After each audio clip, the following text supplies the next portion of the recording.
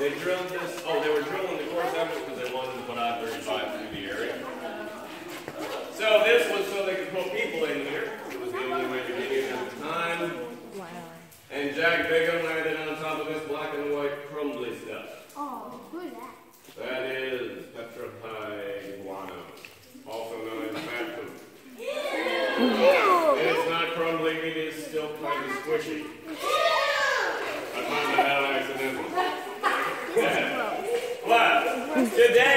That hole is plugged by the I-35 overpass. The highway goes. The other 2% is calcium, iron, magnesium, and a few other trace elements that are good for you in moderation. That thing I just described, what is it? Oh, this. Yeah, the water. This is called cave ice. Yeah, the, the It water. starts out the water. I already described that. That's a rim pool. Oh. 98% Look how clear the water is. You can see down in there. Oh. There's a little bit of water in my problem, I think. Maybe. Or maybe not. But the stuff around that rim pool is called cave ice. It starts off as a thin layer of calcite crystals floating on the surface of the water. You can't touch it. The only thing you can Why do you touch keep is what? touching? Mom, look, it looks like sand. I know. Okay, I record. I'm trying to look where my feet are. Yeah, here. Do not drop my phone. I know, I won't. Whoa. It's recording, so hold it up. All of them are now sealed completely to the surface. Through weathering I don't like it. Oh, that's bright. Do you want me to do it? But No, they I got it. water flooded in Okay, never mind, you can do it. the top very quickly. And often the cavern was flooded to this level. When it was, dang, I hope that was dang. the waves lapped up slowly against the ceiling, weathering and eroding. Yeah. Carved out those scallops. They're called speleothems. Because a lot of people have touched it. they're formed by the Gross. Now, those are literally the thumbprint of the surface of the water embedded Mom, in the rock of the ceiling. That is really cool. Look at the hole. How big this is. If you look up, look for the holes. This is bone sink number two. And this is they did die. What? Obviously, it fell 44 on different them. species of Ice Age animals died. Oh, that's not. We found their bones. 11 of those species are extinct today. The rest are still with us in North America, still sitting on the tour guide. So there's no blood around it. We will do two Bucky, I It's know. also called question. It looks like it's levitating. Me and Gianna did this bestie thing on the um uh thing, and she guessed a lot of mine right, and then I guessed like barely any of hers right. You got three wrong. Ah, imagination can do interesting things in a cavern. In a couple weeks, patience. If you get hungry, there's plenty of cave crickets down here. It's a low-fat protein source. Oh, can we cook them?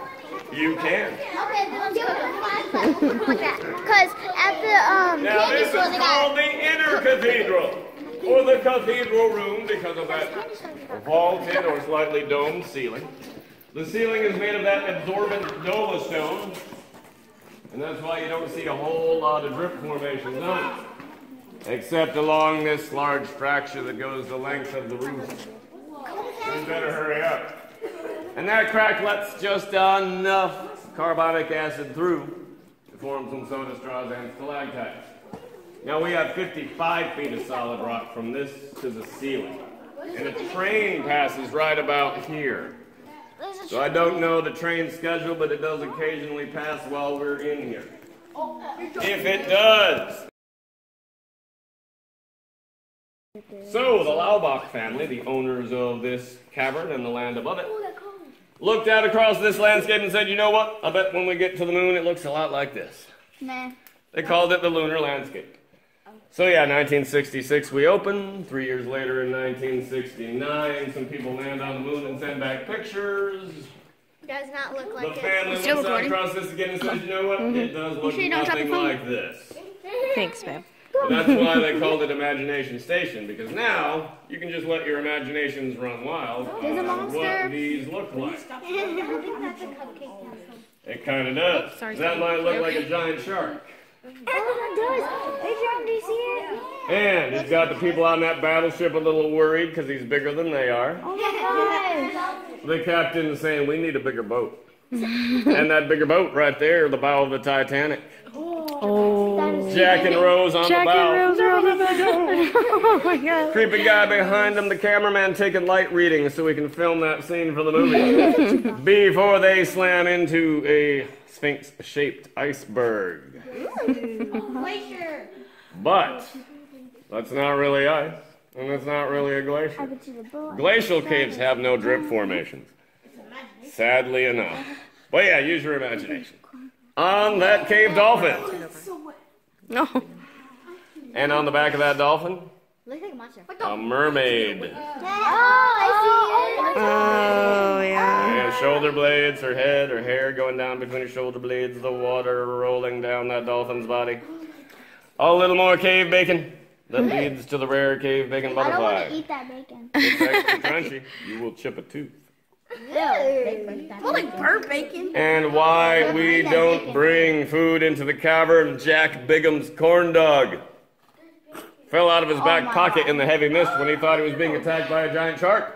Wow. In the 50 years since, that corn dog that looks like a rat now because it's become entirely calcified That was a real is corn still dog. there. No. It looks like a real corn dog. Corn dog, Is that true? Total lie. That's a normal like- calcite I, formation. I was like getting. I was like, oh my gosh, really? That's really cool. literally- yes. There's some role reversal. You got a stalagmite on the top instead of the bottom. You got a stalactite on the bottom instead of the top. But the stalagmite still grows up as a stalagmite should, and the stalactite still grows down as a stalactite should because it's about water flow. Wherever the drip started on the ceiling, just happened to catch the edge of that gigantic duck foot.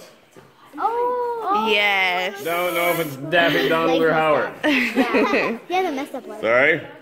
And the last thing I show you in this room over here It's not a room. I'm going to put my flashlight a half an inch behind these structures here to show you the translucence of calcite crystals. Where's this little space? I keep hitting people with my elbows and flashlights.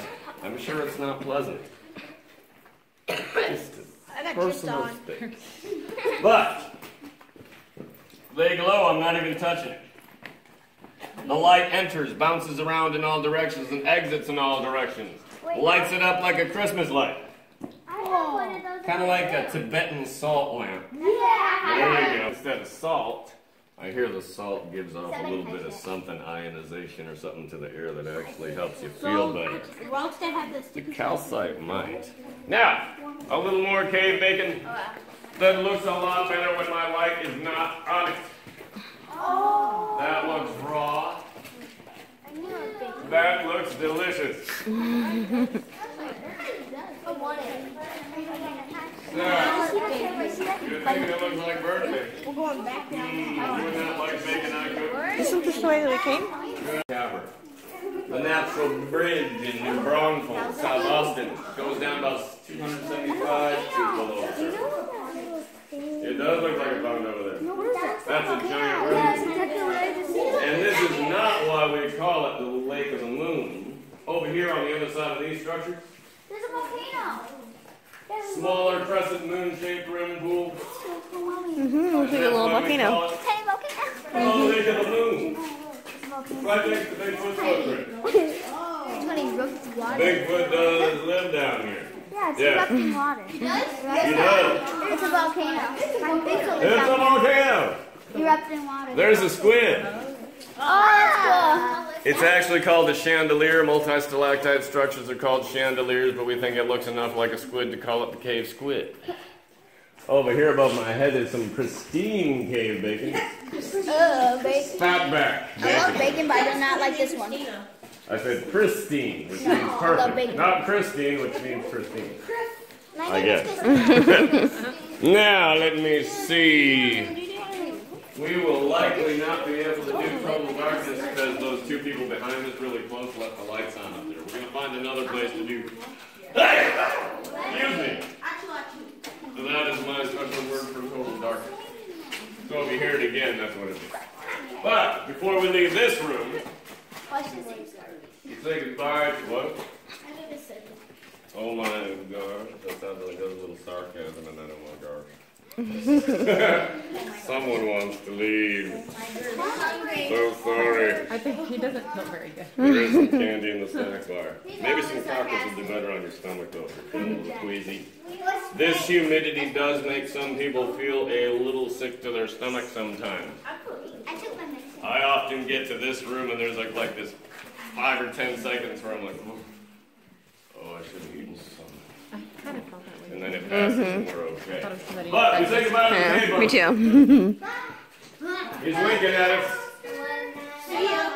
He's got a runny nose, a lion-like nose. Oh. Runny because he touched Temptation Stone too, and that is his mouth. No, it's not. Horrible bacon teeth. You got got some bacon. But- Please don't come after. You got some bacon. teeth. He's kind of a flower child because he was discovered in the 60s. He likes peace. Mm-hmm. Peace, love, and unity. Yes, way over their heads. Some of And so these, some of these flashing us the jokes are not sign on the age appropriate. Oh, For real. For real. No, we don't do Peace. Shadow puppets. Are you